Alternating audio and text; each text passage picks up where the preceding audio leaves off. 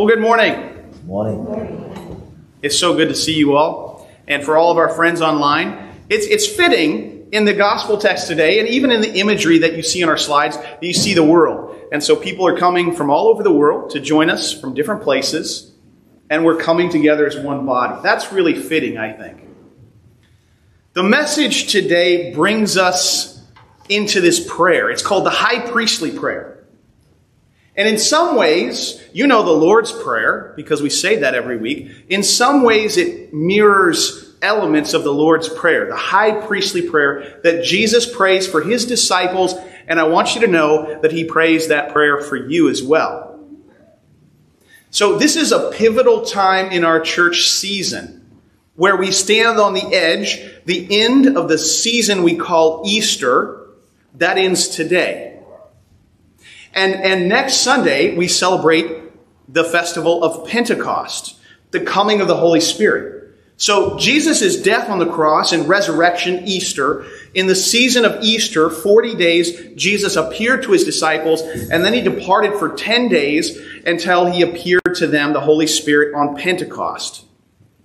So we're right in the transition. This last Thursday was a day called the Ascension.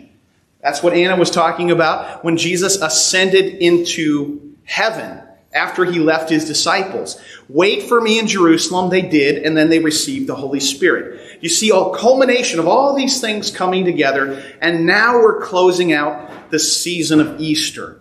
So watch what we do in this reading today.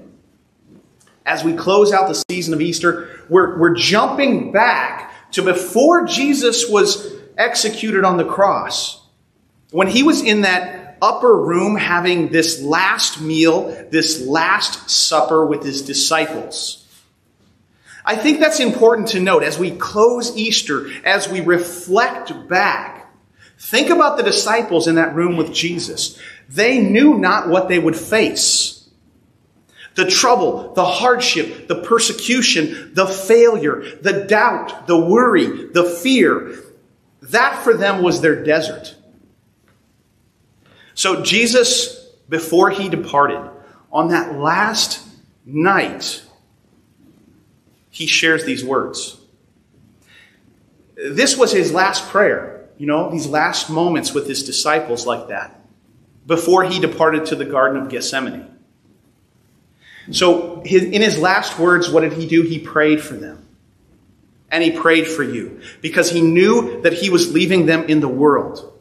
Just like he puts us in the world. You're in the world. He says that we're in the world, but not of the world. We're kind of like foreigners or aliens. Some of you know what that's like to move to a different place and be alien or foreign. So he's saying we're like that. We're like alien to this world. We're in it, but we're not of it. Jesus prays for them, and he prays for you. And this is what was happening on that very night. Jesus was sharing these last words. So you know they're important. He knew that they would feel alone. Consider this when they see Jesus go to the cross, when they see that he dies in those three days, it's, it's perhaps like the most alone and broken that they had ever, ever felt. So Jesus prays for them. So he's praying for you too, so that when you're in those desert places, when you're feeling totally isolated, alone, maybe you come here today feeling that way, feeling really alone. And, and Jesus prays for you. Jesus prays for you. So that while you're in the world, he's strengthening you with his word with his presence. And we're going to talk about what that means. I wanted to share with you because Pastor Johnson and I just got back, just on Friday, we got back from a, a trip to the Grand Canyon. It, it was not the intention to go to the Grand Canyon. We went to a conference that was in Arizona that put us close to the Grand Canyon. And we went, we took a day to go and see the Grand Canyon. I had never seen it before. It was amazing. You, maybe you can tell a picture. It was beautiful. Pastor Johnson and I had no idea what we were getting ourselves into because we found a trail And armed only with a water bo- bottle and some dress shoes Pastor Johnson had on, we ventured down this trail, down into the canyon, a mile and a half down. It seemed like 10 miles down. Going down, however, was exciting and fun. We found that ascending or coming back up was a lot harder. This took us quite a few hours, but we enjoyed being out in the heat of the day, seeing the beauty of God's creation. As we were hiking down, we met some fellow hikers and a husband and wife who had hiked that trail before, so they knew what to expect. And one of their observations, as we kind of shared uh, little bits and pieces about ourselves and we learned about them, is that the uh, Chris, the husband, said, "This is like God's cathedral." The Grand Canyon, how beautiful it is. And, and it is. Amazing part of God's creation, part of the world. You see, the world is God's good creation. It's good, and He loves it. And He wants to redeem and, and restore it. So, as we were hiking down, though, and we heard that God's cathedral, that stuck with us. That really sort of continued to ring in our minds that idea. As we looked and we observed, we saw the power of simple stream, river, and water. As the streams and river could carve out channels, could cut through rocks. And I want to use that image today. That of a stream of living water. That is of a stream of water that's flowing in the desert, that is flowing in your desert. When you feel alone or in those dry places, Jesus is saying in this prayer today, He's like that stream of water that flows, that brings life. So, our conference then, as we attended, we went for the conference. We enjoyed a little quick respite and a day of adventure. But our conference was called the Two Text Conference where we were looking academically at the Word of God, at the text, at the Bible, at the original text, original languages, and trying to delve in academically deep into the Word of God to look for our understanding or interpretation of Word and words. That's the one text. The second text that we were studying and discussing is the text of the culture, of the world, of the context. Two texts academically approaching the Word and then applying the Word of God to the culture of today. These two texts. Really, that was a summation, I think, of this concept that we are both in the world of the world. God places you in the world and He includes you. Jesus had a mission and He gives to each of you a mission in the world in the context of where He's placed you. In the demographics, in the geography, God has, that's the second text. How do we delve into the world as Jesus has sent us into the world? So this conference was really a great exploration of that, where we were looking at how does God use all different types of people that maybe we're not used to in our church body. How does God use people of different colors and ethnicities and backgrounds and male and female? How does God have a purpose and intention for all people to delve into his work? This prayer was not just for some. This prayer, this unity prayer that Jesus has, was for all who would believe. He gives us all this mission. Two text conference. It was at Grand Canyon University, and we had a great time. We're a little bit tired still, however. I looked at this text today that you heard Eunice read, and I took all the words and I placed it into a, a Wordle diagram, and it maps the reoccurrence of words so that you see the words that are used the most are the largest on the screen. So in these nine verses, we see that the world, you see that's the biggest word, that shows up most frequently in this text. This text is not just a text, it's a prayer. Jesus' prayer. So in, in Jesus' prayer, he's referencing the world. Second to that is truth and word. You see other words as well, like joy and consecration, guarded, scripture. These are all elements of Jesus' prayer for you. But you notice that the world takes a big role in this prayer. Now, here's the thing Jesus is praying for us, for you, to be in the world. We, we may want for Jesus to pray for us to be prosperous in the world, right? Let's be honest. Or maybe we want for him to guard us, and he does want to, he says he'll guard us from the evil one or guard us from evil. We like that, guarding from evil. We like the idea of Jesus praying for our prosperity and for our stuff and for the advancement of self. But that's not what Jesus is praying for. He's praying that you're guarded from evil so that you can be part of his mission in the world. That you can be a witness of him and the hope that you have in him in the world. So, our prayers sometimes don't always line up because our prayers, we want prosperity, and that's not a bad thing. We want stuff, we want advancement, we want all of these things, but Jesus is praying for these things that have eternal value. And he wants for us to value them as well. So he says that he's going to sanctify us in his truth. He's calling you on a mission. So what does he include in this prayer? What's on his prayer list? These are the things that I, as I looked at it, he's praying for unity and joy. He's praying for that you would be in the world, but not of the world. He's praying that you're guarded from evil, that you, you would be on mission, and that you're empowered by the Holy Spirit. This is a very mission orientated prayer that Jesus is praying for you. Jesus loves you so much that he wants to include you on the mission that he has in this world. So, here's how our text begin. Jesus said, Holy Father, keep them in your name, which you have given to me, that they may be one even as we are one. He expresses the unity that he has Father, Son, Holy Spirit. He wants for all Christians to be one. Isn't that amazing?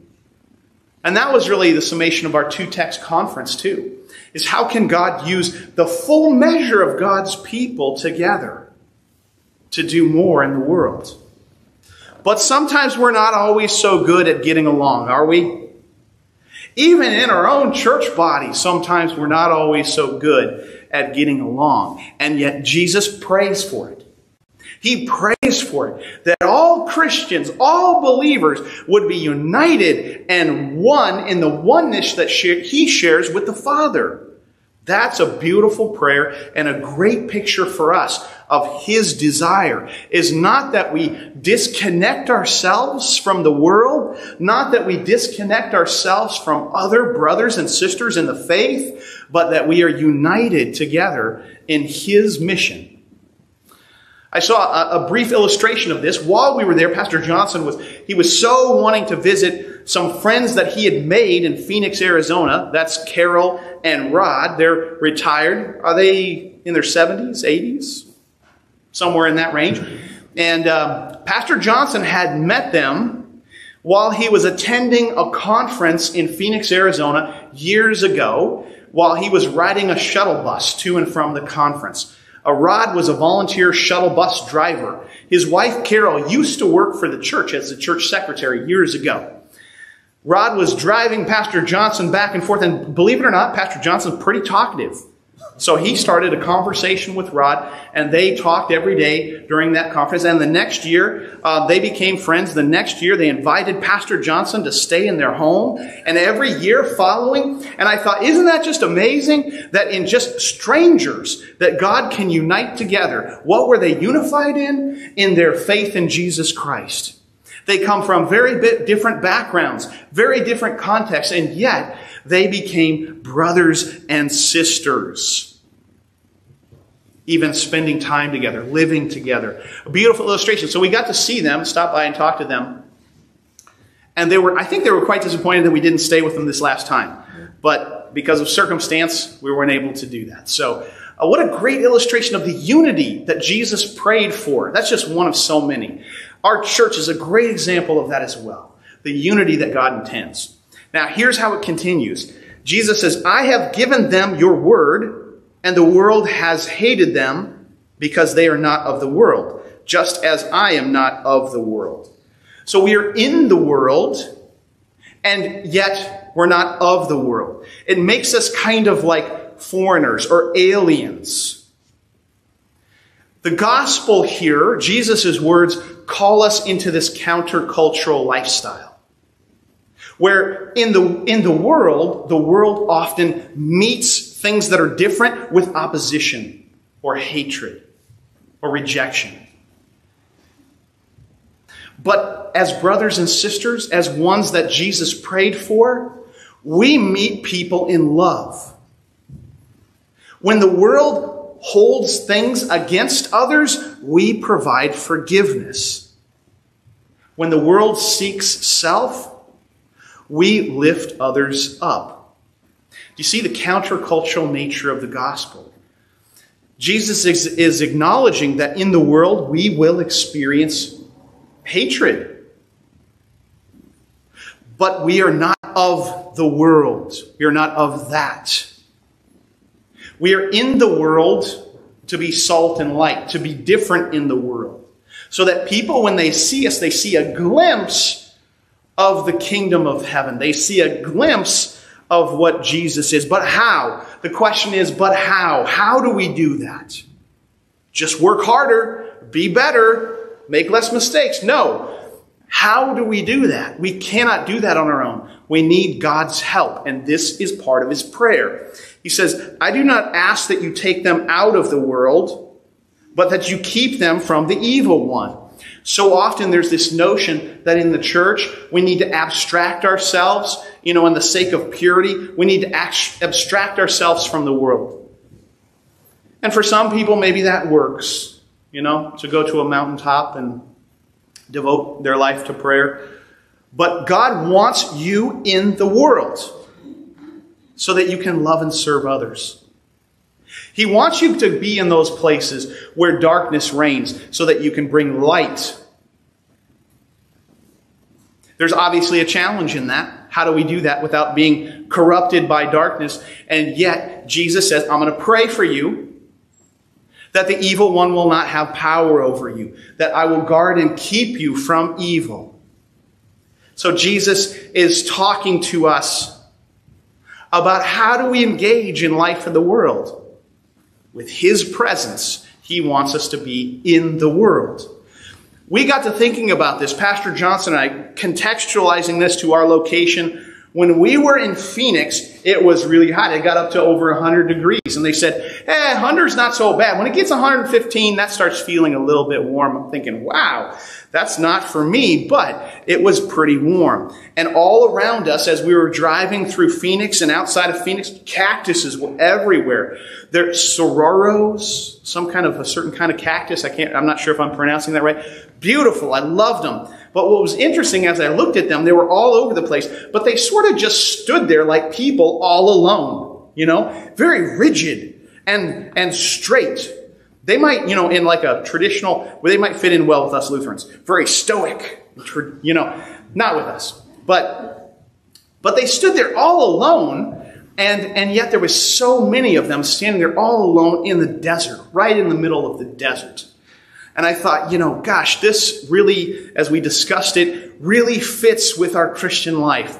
That we can feel like we're in the desert places. We can feel like we're all alone. And we might fail to recognize that all around us are a cloud of witnesses. All around us are our context in which Jesus has placed us to do his work. So in the desert, the temptation of the evil one or Jesus' prayer to guard us from evil. You see, evil leads us to a place where we do feel, where we turn in on self. And we do feel like we're all alone. You've been there. Maybe you fluctuate between that. Maybe you feel that right now, where you feel like you're all alone. Jesus is praying for you. He doesn't want you to feel that way. You see, our sin, that, that sin in us and the world that stirs around us wants you to feel like you are isolated, that no one cares, that you're alone. And that kind of what, what the desert reminds us of. But I want to show you this next picture. It's a little video clip. It's short. Uh, I'll just, while it's playing, no, it's peaceful. We found a stream off the road, off the desert, and we went from desert landscape to beautiful stream. And you see all that life around the stream? Beautiful, right? We stood in the stream. It was cold. We could see to the bottom. It was clear. It was fresh. It felt so refreshing. And that is in this prayer, that is Jesus when he's saying he's sanctifying us in the truth. This is like him bringing a stream in the desert. We were reading from this stream from Isaiah 35 of the stream in the desert. How Jesus is that stream that brings us life and all around it creates life. So when we are alone, when we feel in that desert, Jesus is like the stream. So the how is answered in this prayer when Jesus says that he brings us into his word of truth. Coming into God's word is like returning to that stream or standing in that stream in the heat of the desert but so often people want to bring themselves out of the stream, out into the desert, where we find ourselves dry and thirsty for the Word of God because other things push it to the side in our lives. And yet, Jesus wants to bring you to the stream of living water. He wants to refresh you through His Word this day. So our text, as it wraps up, it says, sanctify them in the truth. Your word is truth. That's the stream, people. That's the stream of water in the desert for you. So whatever desert you face, Jesus wants to bring you into that stream of truth of his word. He wants to refresh you and to answer the question. That question that we have, am I alone? Jesus prays for us so that we don't ever feel alone. He prays for us so that we're in the darkest moment, we know that He has purpose for us and that He's with us. And He puts us in the world, empowered with this word so that we can be witness. And He says this As you sent me into the world, so I have sent them into the world. Jesus has sent you into the world, empowered by the Holy Spirit. Jesus sends you to be witnesses, to extend that stream of water, that living water, that word, the means of grace by which God works as he works through baptism and the Lord's Supper. You see, it's that stream that keeps flowing to each of you and he wants to send each of you into the world. The world is most certainly a focus here in the text today because Jesus knows that you're in it. You're in the world and yet you have a hope in him, so you're not of the world. You have his truth. You have his stream of living water. And so now he sends you into the world to be his witnesses. Let's pray. Lord God, thank you for your word today, this word that sanctifies us in the truth. Lord, we pray that you would reign present in our light, that you would be like a stream of living water that flows to us in our very dry places. When we feel alone or isolated, Lord, that you refresh us, that you remind us that you pray for us, that we matter to you, and that you have intention and purpose, that you join us in this mission. In Jesus' name, amen.